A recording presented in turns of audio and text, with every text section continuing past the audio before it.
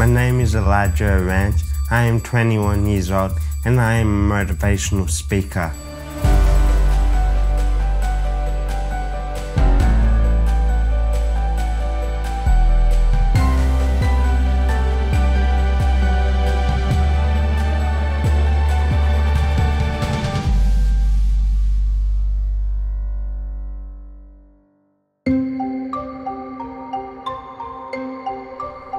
What I love about doing sport is getting out there and feel that sense of being alive. We just used to call him Forrest because he ran. He absolutely just loved any type of sport. He was training for running five days a week, as well as basketball and jiu-jitsu, and then wanted to chuck tennis in there as well. We were just like, mate, you gotta, you gotta pull back.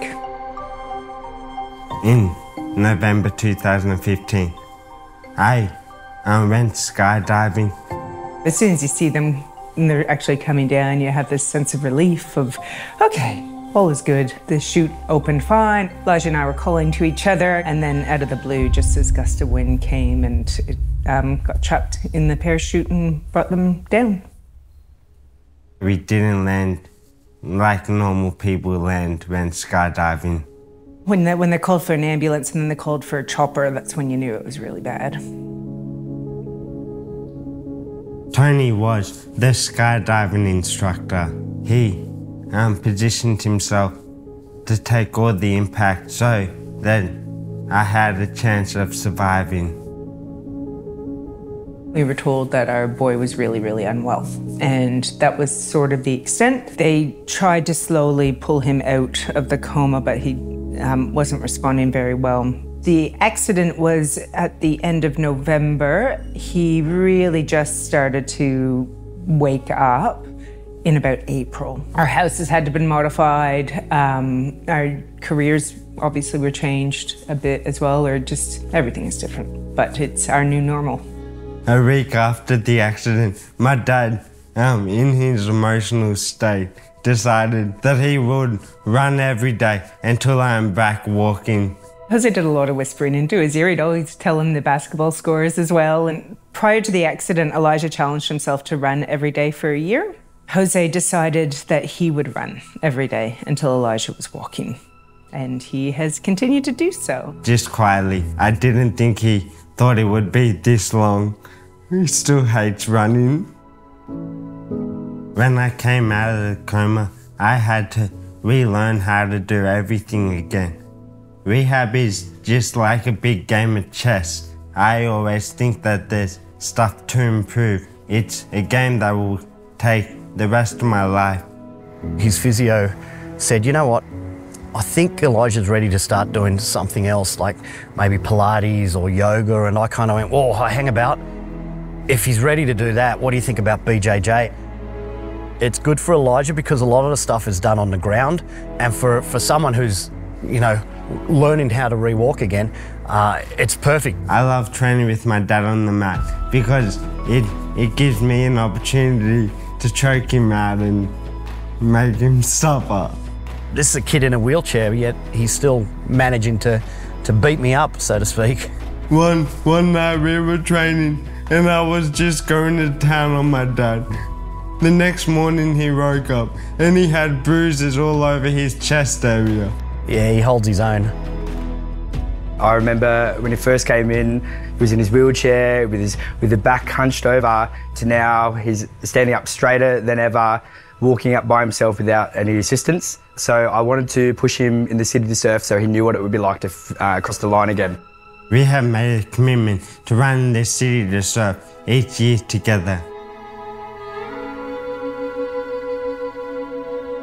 So the NDIA funded him, which is part of occupational therapy, which is finding and keeping a job. We were referred to a company called the Rehabilitation Specialist. Two years ago, we employed Elijah as our happiness ambassador and social media coordinator. Elijah was actually a client of ours, and every time he came in, he just lifted the, the spirits of the team.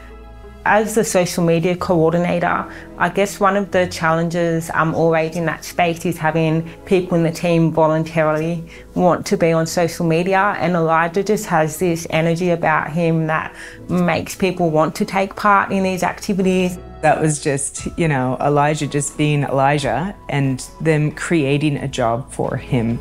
He was just the perfect fit for our workplace. I think the happiness that he brings just seems to rub off on everyone else, and everyone seems to have a good day once they've had engagement with Elijah. In my free time, I like to do motivational speaking. It does make me feel very proud of myself because I can see that what I'm saying is getting through to people and that I'm leaving an impression on them. He's been invited on a number of occasions to, to speak in front of crowds. And I guess after the first couple, he kind of realised he, he liked it, gave him a sense of purpose. Um, he felt proud that, that he was able to, to help people out. I'm a young man with a severe traumatic brain injury, and I would like to tell you about how I got to where I am.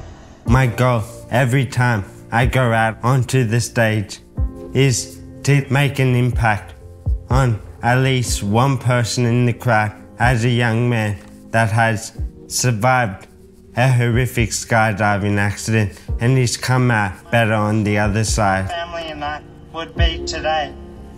His speech on the night had everything. He was articulate, he had a great sense of humour, but he also shared his raw story. He received a standing ovation at the end, and he is literally one of the best speakers we've ever had at one of our functions. Elijah is an amazing motivational speaker. He's very passionate about what he speaks about. He's very open about his, his background and what he's been through, and he's very welcoming of other people. It was kind of another way of saying thanks to all the nurses that have helped and progressed me to where I am today. Nurses play an important role in my recovery. We chose Elijah this year because we wanted someone with lived experience and someone who could come and speak about how the nurses have impacted their lives and how nurses have truly made a difference in their life. I think that everyone needs to be given a go. You know, it's yes, it's challenging, but it's so rewarding when you help people. It's not about the disability, but it's about having a role, having your goals, having the ownership of what you're doing day to day, and being supported to achieve that. I, I say that we are extremely lucky for a hideously unlucky situation. The doctors hadn't expected him to survive those first 72 hours.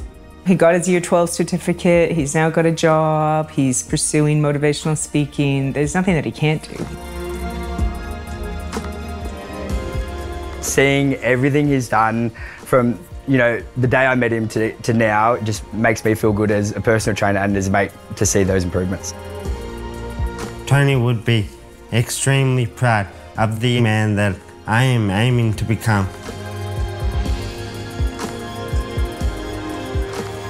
I work every day and refuse to give up because I know that he gave me that fighting chance.